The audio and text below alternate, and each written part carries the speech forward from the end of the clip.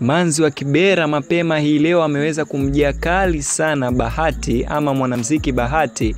Hii ni baada ya mapema jana tulipoweza kumwona Bahati ameweza kupost some photos. Na Bahati aliweza kuchange his hairstyle. Na Bahati aliweza kuweka white dreads ambazo zilifanana na zile za Rayvanny.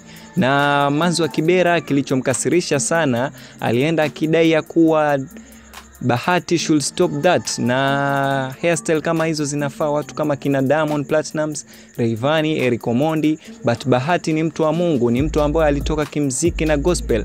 So Manzi wa Kibera akaenda na kumshawishi ya kuwa aweze kubadilisha hiyo hairstyle na awache tabia hizi za kujifananisha na wanawake, kwani si mara kwanza kuna wakati pia tuliweza kuona posti yake Bahati fulani na ambayo Bahati alikuwa ameweka makeup na kuvaa hata skirt. Basi Manzi wa Kibera aliweza kufokea sana tendo hilo, na Manzi wa Kibera aliweza kutuma ujumbe mrefu sana kwake Bahati, na audio ambayo tutaweza kukuchezea hapo mbele ndio ujumbe wote na ambao Manzi wa Kibera aliweza kumtumia. Bahati, umeshika nini hizo za wamama? Baha, you are not Diamond. Respect yourself, you are a man of God. Respect the church. Respect the industry, the gospel industry. Reivani na Eric Omondi. Hao ndio watu wenye tunatambua na hizo ma style. Respect church, respect you are a man of God.